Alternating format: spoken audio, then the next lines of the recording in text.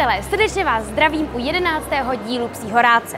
Dneska jsme vyrazili na veletrh Forpec. To je pro všechny pejskaře, ale taky rodiny s dětma, všechno možný. Já jsem nikdy na takovém veletrhu nebyla, tak jsem vzala tady ňufíka, protože Jackie nemohla dneska. A jdem se podívat, co tady všechno je. Tak pojďte.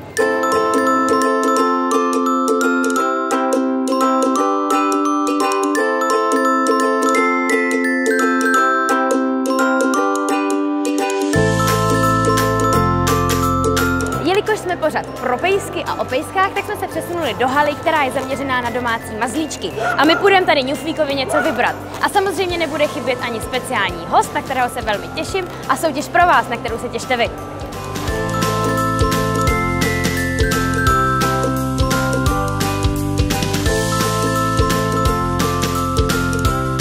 Ňufe, tak ale pojď, tohle jsme si nedomluvili, že se zastavíš u prvního stánku.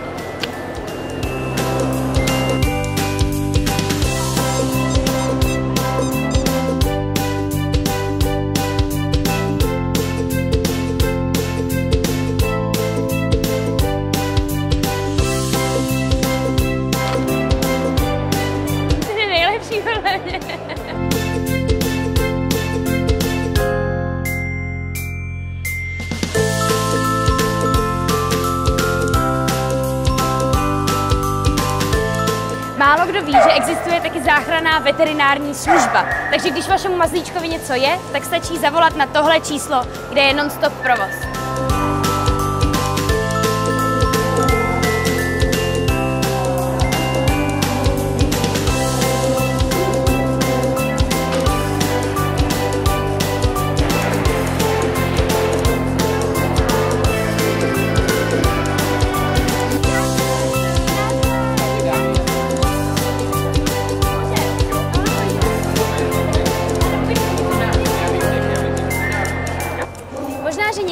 Víte, že už pár let dělám tady ten charitativní eh, kalendář, už výtěžek putuje na psí útulky. Spolupracuju se psím životem a jsem hrozně ráda, že jsem narazila na jejich stánek tady na Forpet. A vedle mě stojí Jarmila, ředitelka psího života, která mi s tím kalendářem strašně moc pomáhá.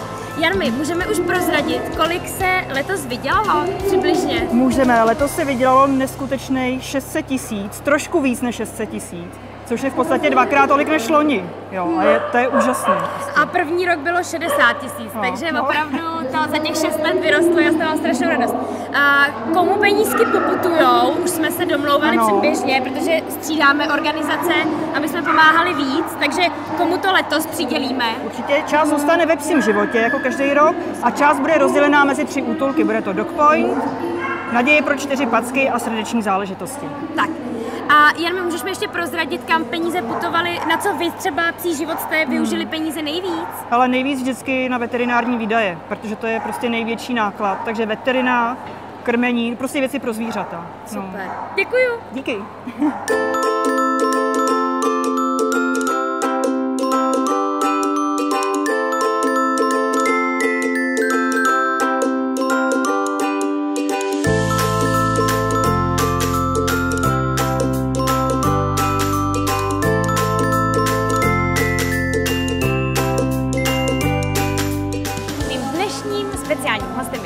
zpěvák a velký sympatiák Pavel Calta. Děkuji, Ahoj. že jsi přijal pozná... po, poznání. Poznání. že jsi přijal poznání. Uh, já Je. se tě chci zeptat, klasicky. Uh, co ty a zvířátka? Máš rád, máš je doma, měl, měl jsi, chystáš se? Hele, měl jsem 17 let, jsem měl Hafana, který se jmenoval Aran.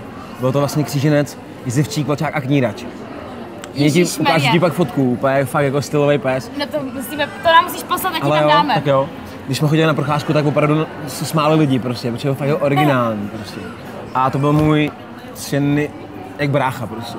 Fakt jsem ho miloval, já jsem ho, 17 let, jo. já jsem ho našel vlastně, když mě bylo 6, na na ulici, když pršelo.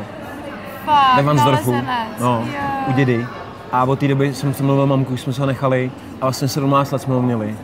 To je a úplně totálně inteligentní, napojený na tebe. A na to hrozně rád vzpomínám a od té doby vlastně nemám žádný psa, protože teď vlastně bydlím sám a neměl jsem na to čas. Mm. Ale přemýšlím, že až jednou se nějak trošku jít usadím a budu třeba bydlet někde s holkou nějakým třeba baráčku, tak určitě bych chtěl psa, protože miluju psy. A myslíš si, že by to teda nešlo jako úplně skloubit pejsek a koncerty, ty hodně asi jezdíš vzhledem jako k festivalům a tak, tak Hele, Jsi na cestách hodně, dost. hodně koncertů na cestách a do toho, že jo, normální cestování. Jasně. Takže až budu mít jednou hafana, tak chci, aby prostě měl zahradu, víš, jako zázemí, prostě barák už. by měl chill na zahradě. Aby tam, vždycky třeba, aby tam byla třeba holka, prostě a vždycky se o ně někdo postaral. A máš vybraný nebo vysněný plemeno, rasu, jakýho by si chtěl pejska? Ale já bych hrozně chtěl uh, najít do útulku nějakýho a prostě si vybrat nějakého prostě voříška To totálně. je správná odpověď. ne, já si vždycky tohle hrozně ráda slyším, když No. uh, někdo prostě to má nastavený takhle. Protože jelikož jak jsem měl očistit toho voříška vlastně, tři rasy, že jo, tak bych jsem chtěl něco podobného. A Vořeši jsou totiž nejlepší. Totál. Hlavně prostě mají hrozně, hrozně toho vydržej, když to řeknu takhle, a jsou prostě hrozně uh, uh, Chytrý. No, přesně inteligentní, chytrý a nemají žádné nemoci, protože taky jako mají imunitu, Je to tak, je to jsou tak. taky jako, A vy jste měli teda, uh, měli jste 17 let tohohle pejska, měli jste ještě nějaký jiný zvířátka, prošel jste s tím takovým tím vývojem klasickým u dětí, jako rybičky, morčátko. Jo. A pejsek bude, až se o něj bude starat. tak pejska už jsem měl jako očistí, ale do toho jsem měl ještě jednoho psa Dobrmana, mm-hmm. uh, Beníka, a ten se teda bohužel, to, ten se bohužel utopil v bazéně. Takže to bylo, to bylo, to bylo taky hodně smutný. Pak jsem měl samý kocoury, kočky a rybičky taky. Křečka jsem měl, džungarský křečky, ty se mi, za- ty se mi nějak Džungaráky. džungaráky. A ty se mi snad zakousli na zájem, ty.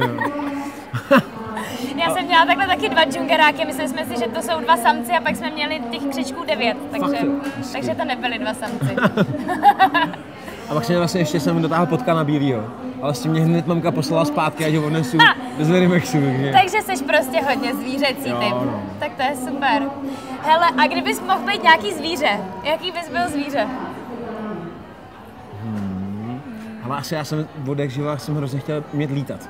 Takže asi nějaký dravec, nějaký pták, prostě dravec. OK. A nebo ryba. Protože se strašně potápím, takže nějaká ryba, ale ne nějaká mrňavá, kterou mě hned zakousne žralok, ale nějaká prostě dominantní. Super, Pavle, já se tě ještě zeptám na hudbu. Co, co teď chystáš, co teď plánuješ?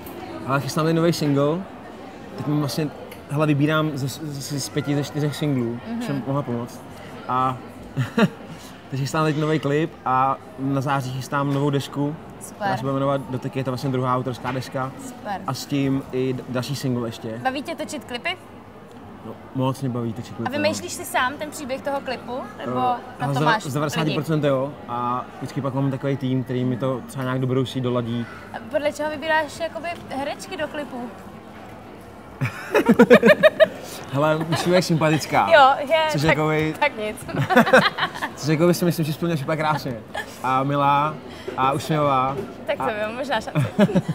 Takže to ano. Aha, tak Super, uvidíme. No. tak si dáme vědět. Tak jo. Pavle, já ti strašně moc děkuji za to, že jsi přišel tady se za náma podívat na veletrh a přeju, se daří a mě třeba uvidíte v klipu Pavlovi možná. Já, já taky děkuju a hodně štěstí v kariéře Děkuju. a hezký den lidi.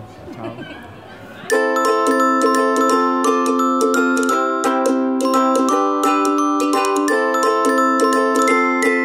Můžu se vás jenom zeptat, podle čeho vybíráte krmivo pro svého pejska? Eh, Na doporučení veterináře a pro tady to štěně jsme vybírali podle zkušeností podle druhého psa, který máme doma. Takže není pro vás cena nějaká extra směrodatná, jakože to musí být levný, nebo naopak to musí být co nejdražší?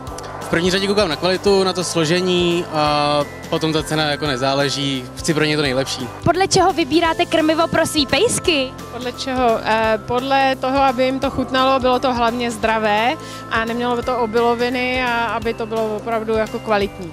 A jak poznáte, že jim to, nebo jak poznáte, že jim to chutná, takže jim něco koupíte a když oni to nežerou, tak, tak jdete pro jiný. Dám, dám hodně na to, co se dočtu, slu, st- sleduju to, eh, doporučení známých a tak.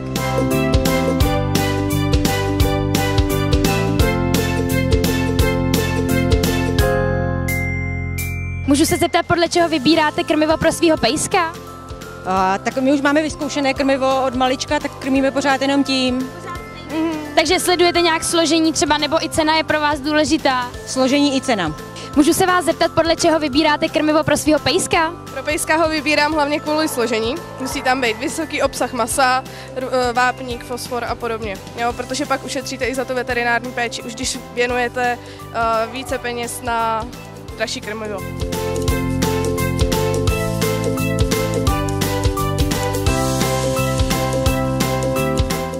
Soutěžní otázka zní, jak se jmenuje maskot dnešního dílu? Správné odpovědi pište na Facebook Eukanuby pod příspěvek a vyhrát můžete nějaký dobrý krmení. Já se s váma loučím, děkuji vám za pozornost a těším se na vás zase příště.